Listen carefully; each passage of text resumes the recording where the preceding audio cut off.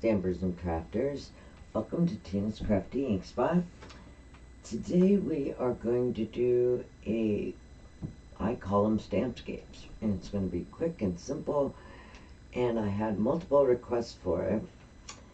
This is a card I did for the, uh, my upline team always does card swaps when new catalogs, uh, anything new comes out. We do these card swaps and um, this one was for the mini and the celebrations. And I wanted to do a little moonlight cabin, so that's what we are going to make today. Thank you very much, by the way, to everybody that sent me emails and requests. And I'm sorry it took so long to get around to this.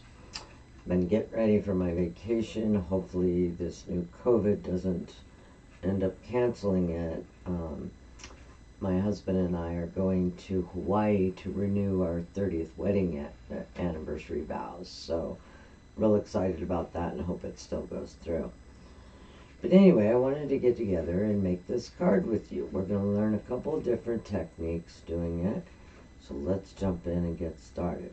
Below, I will have a PDF that has the images and all the measurements and the supplies used to create this card. So, one of the things you're going to need is this new Peaceful Cabin stamp set. Uh, look at the detail in this. It's I love it, and it's just perfect for this. And it comes with coordinating dies. Look at that. Um, I think there's 13 dies altogether. You got trees, you got the detailed cabin, you have the actual scape type dies there with some trees. Well, only thing we used for this one today is I used this cabin die cut to create myself a mask. Okay, if you don't have masking paper like this, um, you can use sticky notes, whatever you need to do just to mask your cabin. And when I die cut it, I use the die to die cut it I noticed that it's it's not quite as close to the cabin here as I would like because we're going to be doing some mask stamping. So I'm just going to trim that off just like that. Easy peasy. Easy peasy peasy. Let's do this. Okay, so we need our cabin to start. And we are going to, instead of using white and creating our blue background, we're just going to use a piece of Pacific Point cardstock here. Like I said, the measurements are all going to be below. I believe this is three by three by four and a quarter, I believe, but it'll be below for you. All right, so let's bring in our Stamparatus. You're definitely going to want your Stamparatus for this because you're, you're, you're stamping on a darker colored cardstock. You want your images to be dark and sharp. So let's do this. Let's put our image piece in here. Now I want my cabin to be closer toward the bottom and offset slightly to the left. Reason being because we're going to be creating our, our starry sky, so we want to give plenty of room for that. Let's bring it down. Man, that looks pretty good. Let's go with it. We're just going to be using regular black memento ink.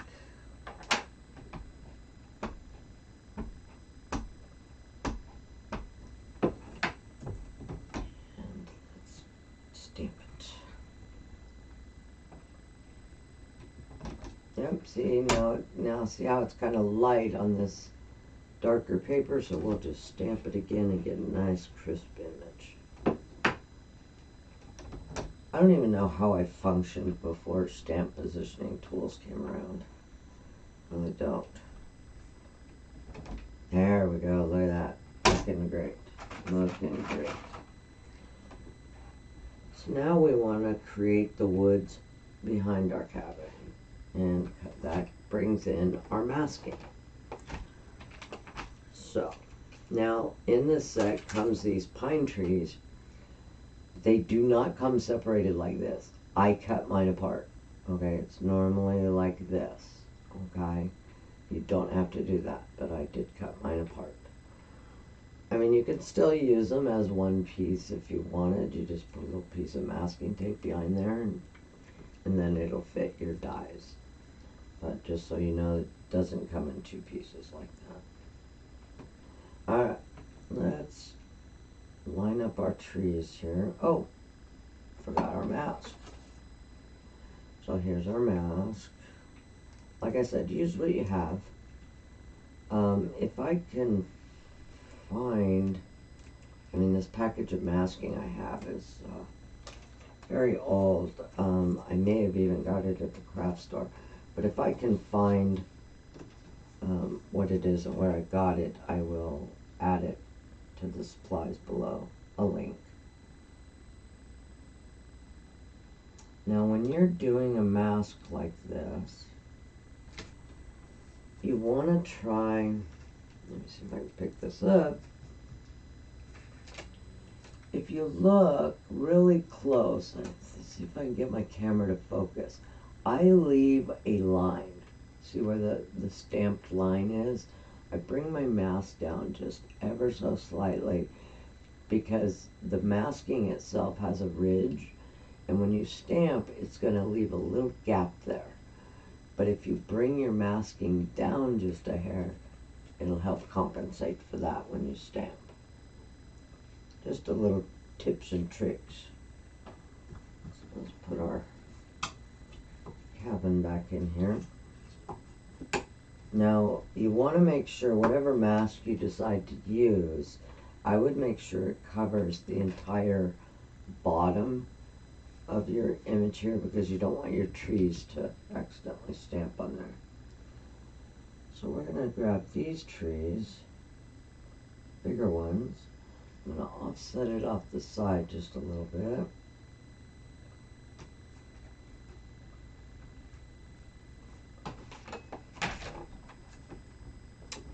Pick it up. And the detail in these trees, if you do it on white or even on here, is so neat. the uh, two-tone dimension stamping there is just beautiful.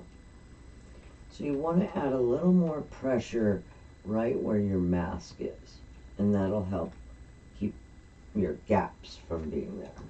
See how you have just a little bit of gap around the masking. That's normal, but I'm also going to show you a way to fix that. So I'm going to stamp that one more time.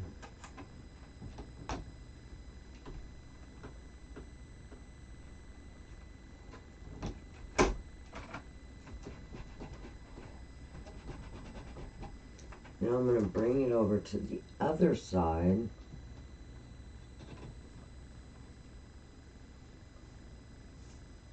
and I'm gonna again take this one off the side a little bit. We don't want to go too terribly high because we want to have our moon and our stars showing. So let's do that. You kind of would want to do this whichever way you like best. I mean, you don't even have to have as many trees. You can do just two trees. Do it any way you'd like.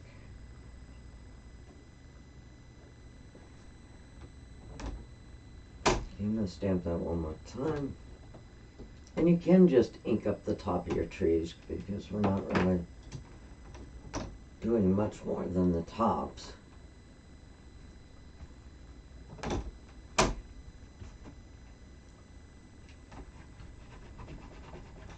And then this is where I bring in my little one that I can tuck in between the spaces.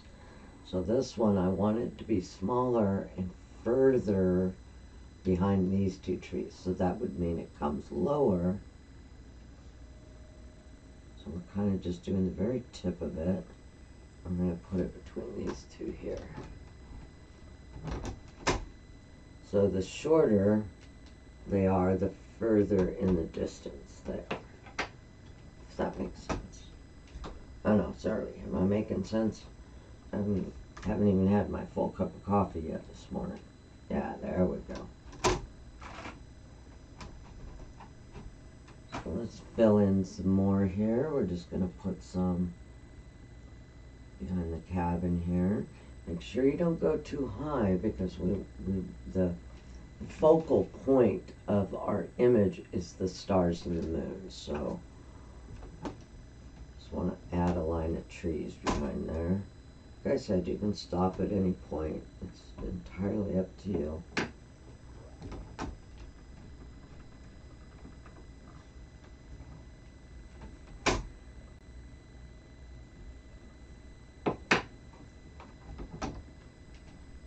That one's just kind of peeking over the top of the cabin there.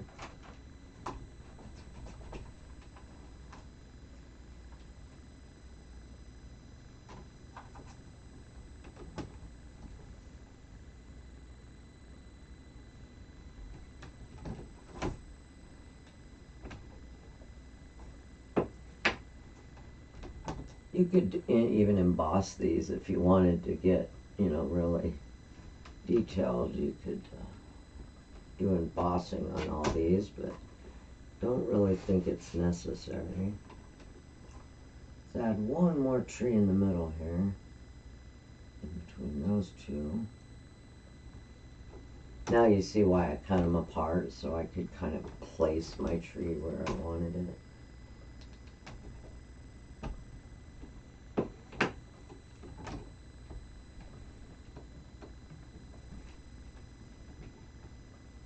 Looks pretty good. Alright, now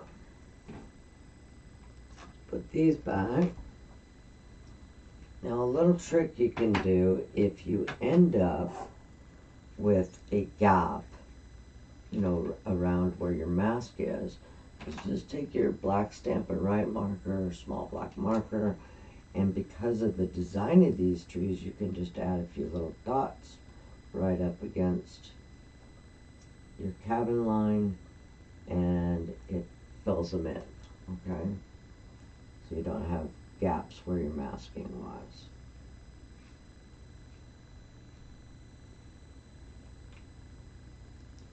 Alrighty.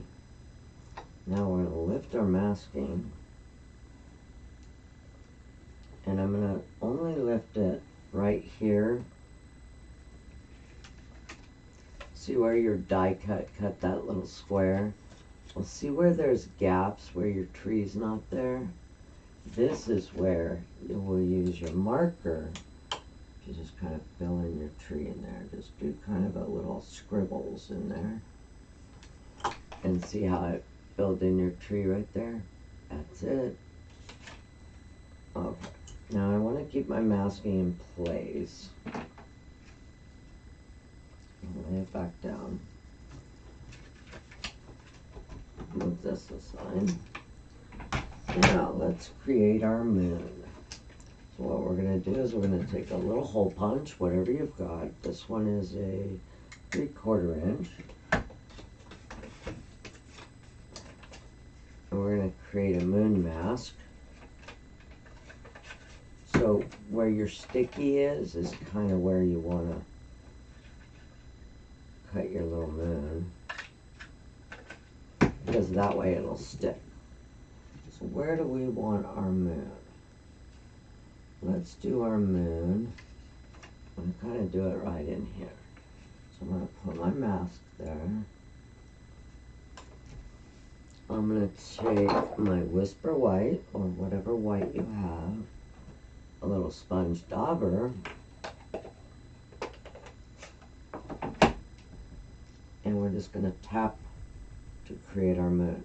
Now, by doing it, by tapping, or even a little bit of rubbing, just kind of randomly, it's going to give your moon some different colors and depths, okay? Or, you know, you don't want it completely white. If you just kind of dab it and smear it around, you end up with, right, pick that up.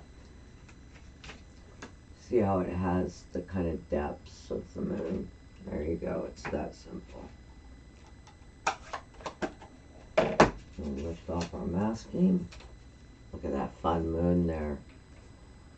Alright, now we want to create some stars here's the fun technique. Now, again, like all my techniques, there's several ways you can create this effect. Even in the stamp set, if you wanted to, is some stars. Okay, you can just stamp these in white all over your sky background if you want. Simple, easy peasy, but I'm going to show you something else that's fun to do. You can use it for a lot of different effects on things.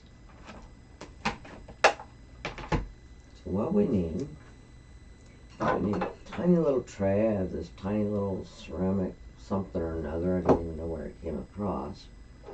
You need an old toothbrush. You need your Whisper White ink refill, or you can use, you, you know, uh, your white acrylics. This one right here is Dr. Phil Martin's, and I like it because it's vibrant and it doesn't bleed or fade. The Whisper White, when we, because we're going to be diluting it a little to create this, it has a tendency to uh, not be as bright. So you can use an acrylic paint, you can use um, this Dr. Martin's, or you can even use, I also have this uh, liquid, it's acrylic wash um, for doing acrylic paints and this uh, big thing of white. These will last you forever. So anyway, we are going to take a little bit, and this is a real pasty uh, white. Um, painters use it a lot. So I'm just going to dip my brush in there and get a little bit of our white out.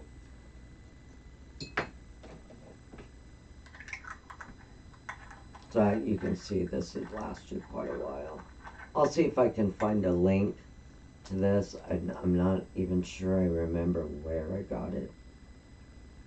I'm going to probably say Amazon since the past year I can't seem to live without Amazon. Now I'm going to take a water spritzer and just add some water to that. Just a little bit to thin it down. Stir it up real well. And now there's a couple of different ways that you can create your stars. But what I want to do, if I recall, I think I want to mask these trees just a little bit. So we can either just use sticky notes or let's just do this. I'm just going to grab some mini sticky notes here. And it doesn't, they don't have to be masked perfectly. I just don't want a lot of stars on them. It doesn't really matter. You can get them on there if you want to. Let's mask those guys just a little bit. And we'll be able to fill in where we... I just don't want a lot of stars on there. Okay, I'm going to do one more. You can also use your die cut, um, like we did the cabin here. And let's cover those just a little bit. Okay, now, this is where we get inky and messy. You know me, I love to get inky and messy. There's a couple ways you can do this. Get the tip of your brush down, you can either tap it on your finger, okay, and do your splatters, or take your finger and kind of just flick the ends of that brush. And when you do that, you're going to end up with all different sizes of splatter, okay? Grab a wipe here. Now I got a little bit more on my moon than I want, so all I'm going to do is just tap, wipe that off just a little bit. So I could have masked my moon if I wanted to. Okay, going to also take the tip of that brush and lightly tap Okay, get a little bit on there and lightly tap the edges on there and you'll end up with some different sizes also, okay? So we're gonna leave that like that for the moment. And I'm gonna leave my masking on there. Now I wanted to take my background, this is my card base of the Misty Moonlight, and to carry my theme through, I'm going to do the exact same thing right here on this one. I'm just going to flick some stars on there so that our theme is kind of carried through. There you go. Your background is done. Like I said, you can use your little, and that's all I did. Splattered some white on there. Let it dry. So now we're going to do a few more little tricks to this. We're going to take our mask off.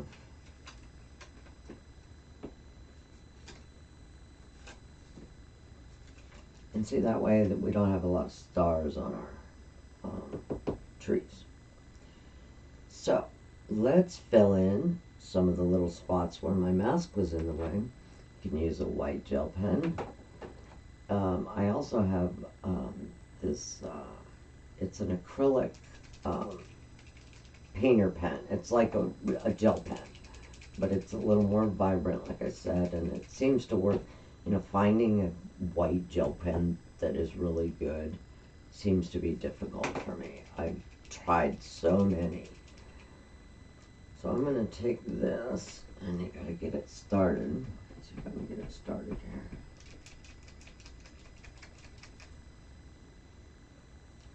I don't remember, I don't know how to pronounce it. It's a um, Myosin acrylic painter. And I just love this. And it's got one of those push start type tops. There we go. Now I'm just going to tap in a couple extra little size stars in there. Fill in where my mask was.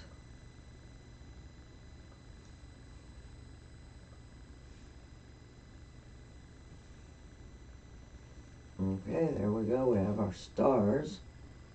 And I'm going to show you a trick how to make glowing stars. See where I've just added a few that glow? We're going to take a regular old Q-tip. Okay? Make sure your end is nice and tight there. Now I'm going to use my white stamp pad. I'm going to tap the end of my Q-tip in there. And you can do it on a piece of scratch too, just to make sure you don't have too much on it. So get a little ink on the end of that. Pick one of your stars that you want to glow.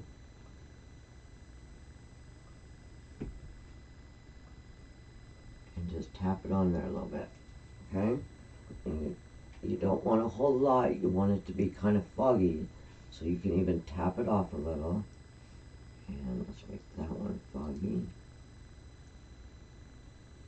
Or glowing. I guess they're not foggy, they're glowing.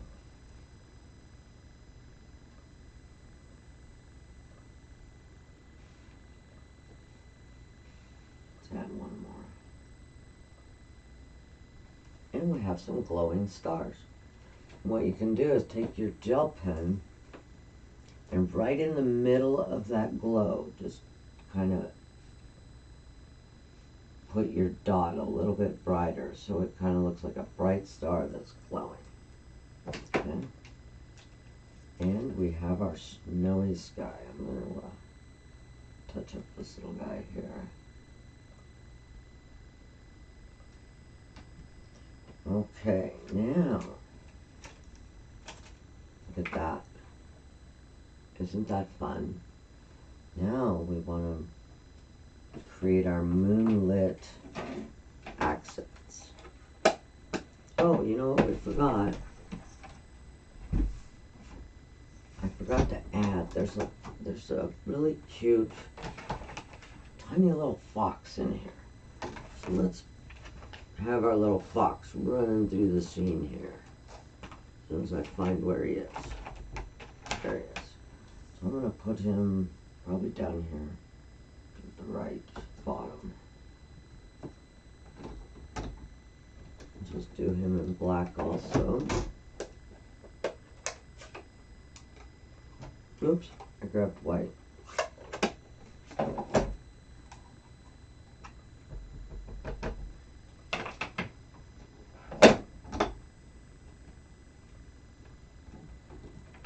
Stamp it one more time.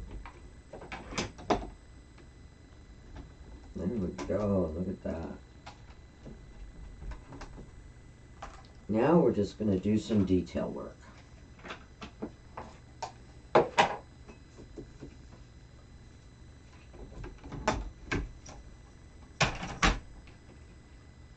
I'm gonna take my little Q-tip again real quick and kind of even up my moon here a little.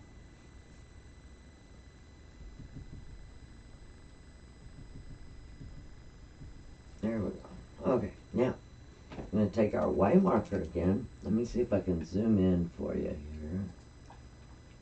Zoom in a little bit on this guy.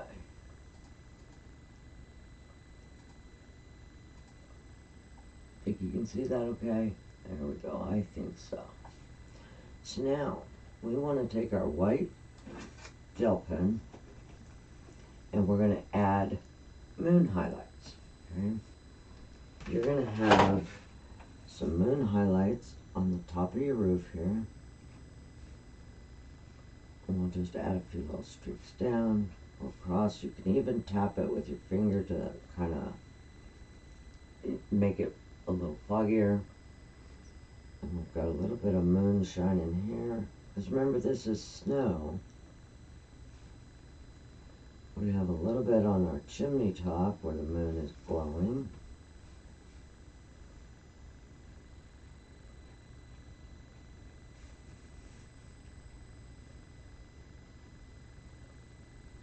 It also gives your cabin a little bit more dimension.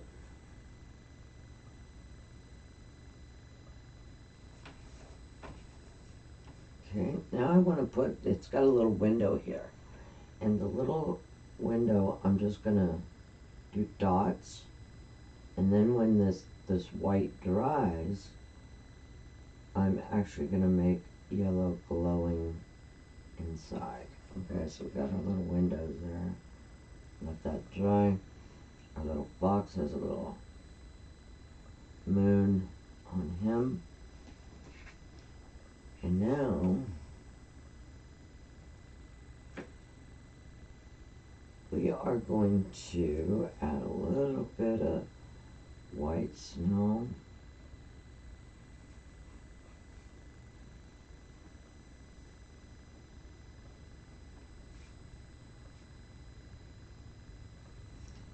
I noticed that one of my trees here, right behind the cabin, didn't stamp, obviously because of the mask. This is where you do your little dotting and detail behind there.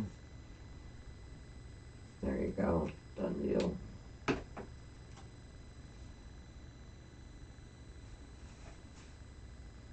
It's amazing that just this small little amount of you know, white and detail just kind of make your image pop.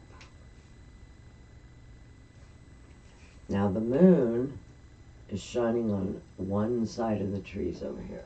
So what I'm going to do is I'm just going to put a couple little dots right on the edges of those trees. That's where your moon is shining up against your trees. And then the opposite way on these over here, so you'll do the left side of these trees. Just a few little dots, all you're doing is representing some light on those trees.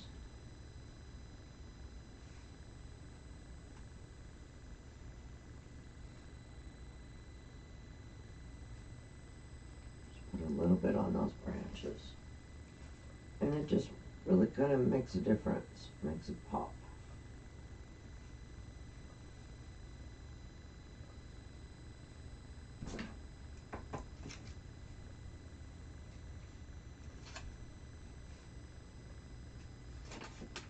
You can go over it as you need. Like I said, use your finger or a little sponge or something just to kind of, if it's a little too bold. Okay, there we go. Look at that.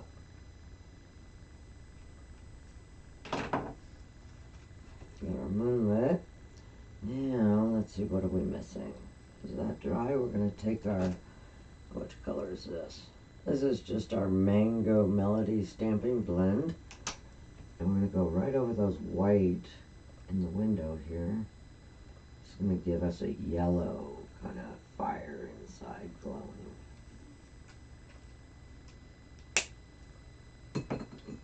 Now we'll take our Memento, a black sponge, as I move some of this out of the way. And we're going to kind of fog the edges. Just going to give our cabin a spotlight. We're just going to go over the corners here.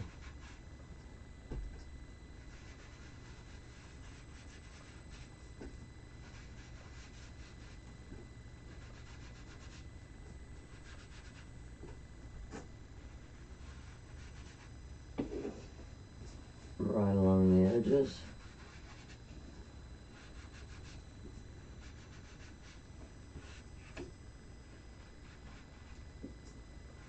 I probably could have used a dauber. I'd have a little bit better control.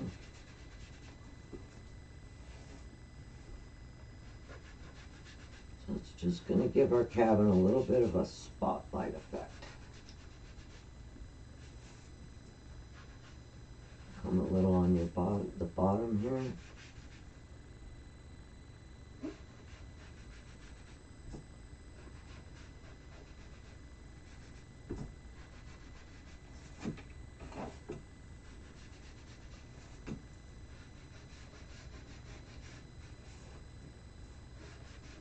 I'm just doing the very edges on the, but a little bit more on the corners.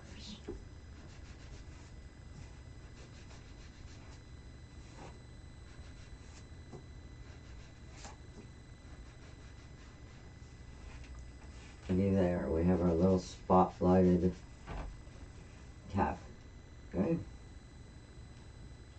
I want my moon, I got a little bit of black there on my moon. I kind of wanted that to pop a little more, so again, I'm just going to grab a Q-tip, get a little ink on there, just going to dab it on my moon. Make sure it's nice and bright. Moon.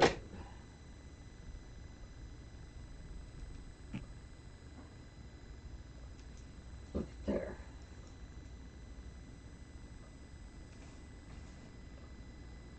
Matter of fact, I'm gonna take my mask here, might be easier. I'll just grab our dauber and just go over moon a little bit. We want it nice and bright. There you go. Look at there. Okay. Now with your wink of Stella, let me see where I put mine.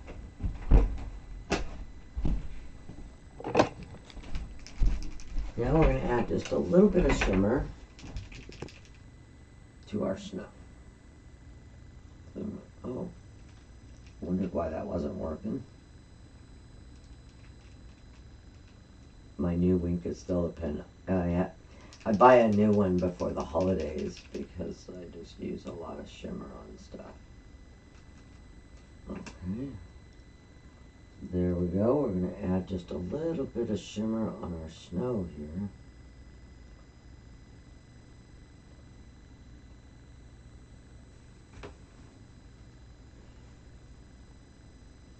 Don't need to go into the black if you don't want to. Now we're going to add a little shimmer to the roof because remember that's snow also.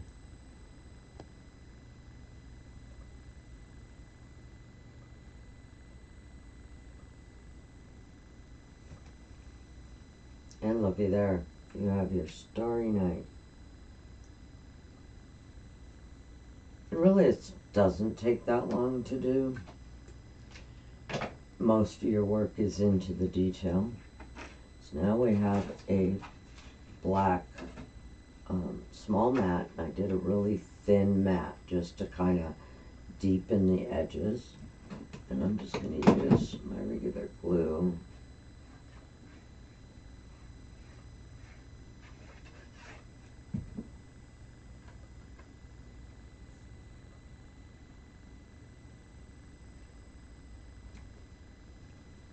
See how that kind of just intensifies the edges a little for you? And then we have our silver foil frame that just kind of pulls some of the glitter and some of the starriness out. And now when I'm using a piece of foil for a frame, I always cut out the center of mine. Nobody's going to see that. And you also have a little extra piece of foil paper to use on another project. So I'm going to go right along the edges here. Doesn't do any good to go in the middle because remember our frame isn't there. I'll line that up on here.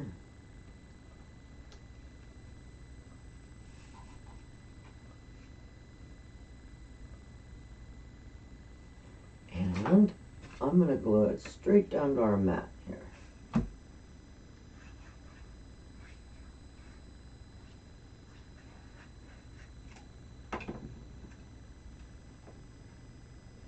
Or It's not a mat, it's a card base. And there you go. If you wanted to add a few extra little bright stars to your card base, you can do it.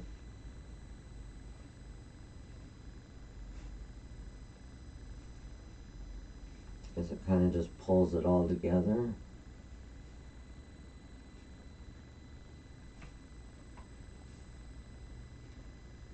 You can even, if you want to just go a little beyond that, you can take your Q-tip again into your white.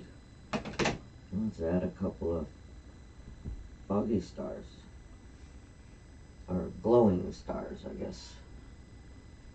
It's early. I mean, it's like really early. If you knew what time it was right now, you'd be like, really, girl? What time is it? It's only 5.30 now. And there we go. That is our snowy cabin stampscape. How simple.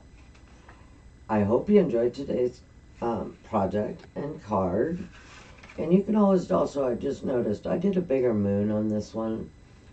I like the small one too. This is probably a half inch. This one I wanted a little bit bigger moon for the class just to see how it turned out. And this is a three quarter inch hole. So you, you have your choice, whichever you'd like.